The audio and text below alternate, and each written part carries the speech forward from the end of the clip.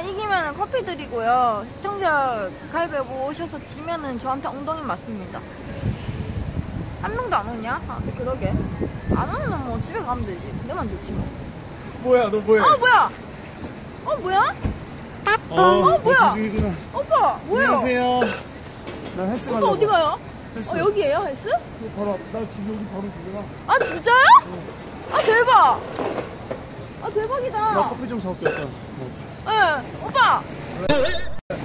오빠, 커피 공짜로 드시고 싶어요? 옷이 왜 그따위. 오빠! 옷이 왜 그래? 내가 지금 오빠. 봤어. 커피 공짜로 드시고 싶어요? 광고 뭐야? 공짜, 오빠, 빨리. 큐브와 커피, 탐탐. 커피 더, 오빠. 커피 공짜로 드시고 아니, 왜 싶어요? 만두를 갖고 왔어? 아니, 오빠. 커피 공짜로 드시고 싶어요?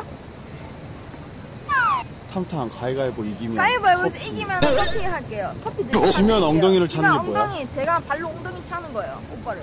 나를? 네, 지면. 아, 나 돈 있는데 왜? 아니, 아니, 그래도 안 돼요. 오빠 돈. 안 내면 진 거 가위가위보.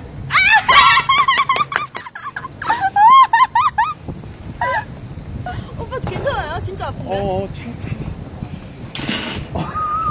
오빠 진짜 아파요, 저너 근데. 요즘 힘드니, 방송? 그럼요. 얼마나 힘든데요?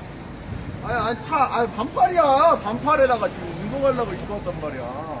이게 뭐야, 이게. 진짜 아파요? 뭔 조합이야, 이게. 진짜 아파요, 오빠. 아, 오빠 미안해요.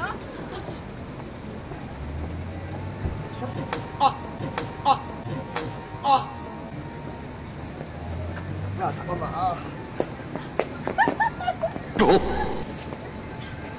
아, 야.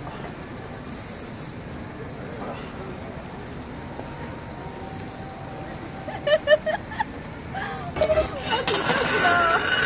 나 커피 좀 사올게. 수고하세요. 예, 수고하세요. 아, 아, 진짜. 아, 진짜 승질 내는데?